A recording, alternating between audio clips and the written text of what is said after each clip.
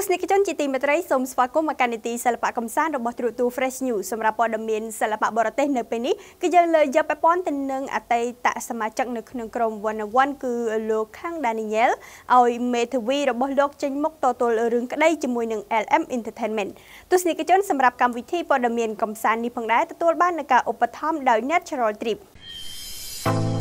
Natural Trip សំណុំលោកអ្នកទៅកំសាន្តនៅតំបន់ទេសចរនានាក្នុងព្រះរាជាណាចក្រកម្ពុជា តាមតំបន់ខ្ពង់រាបភ្នំទឹកជ្រោះសមុទ្រកោះដោយអ្នកជំនាញនិងមានបទពិសោធន៍នៅក្នុងការស្វែងរកកន្លែងកំសាន្ត Natural Trip ចំណាយតិចស្គាល់ទីតាំងកំសាន្តធម្មជាតិថ្មីថ្មីអាចទំនាក់ទំនងតាមលេខទូរស័ព្ទ096 613 56និង13 យោងតាមរបាយការណ៍ជាច្រើននៅថ្ងៃទី14ខែមិនិនាឆ្នាំ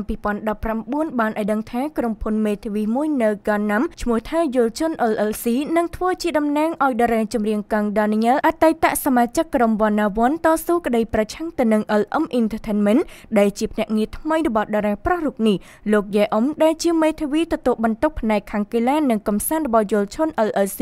បានប្រកាសប្រាប់ប្រព័ន្ធផ្សព្វផ្សាយថាលោកនឹងដឹកនាំរឿងក្តីនេះជាមួយនឹងក្តីរំពឹងរបស់អ្នកអ្នកគ្រប់គ្រងដែលរងចាំការវិលត្រឡប់មកវិញរបស់កាំងដានីយ៉ែលបានធ្វើឲ្យអតីតសមាជិកវណ្ណាវ័នលោកនេះមានអារម្មណ៍សោកស្ដាយនិងបង្ហាញការសុំទោសទៅដល់អ្នកគ្រប់គ្រងរបស់ខ្លួនដោយសន្យាថានឹងបញ្ចប់ចំនួនផ្លូវច្បាប់នេះឲ្យបានឆាប់ដើម្បីត្រឡប់មកស្វាគមន៍ពួកគេជាថ្មីក៏បញ្ជាក់ថាដំណឹងចាក់ចេញរបស់កាំងដានីយ៉ែល PLM ត្រូវបានលេចឮជាយូរមកហើយប៉ុន្តែកន្លងមកភ្នាក់ងារធ្លាប់បានអះអាងថាវាជារឿងយល់ច្រឡំហើយពួកគេគ្រាន់តែកែប្រែកិច្ចសន្យាខ្លះជាមួយគ្នាតែប៉ុណ្ណោះ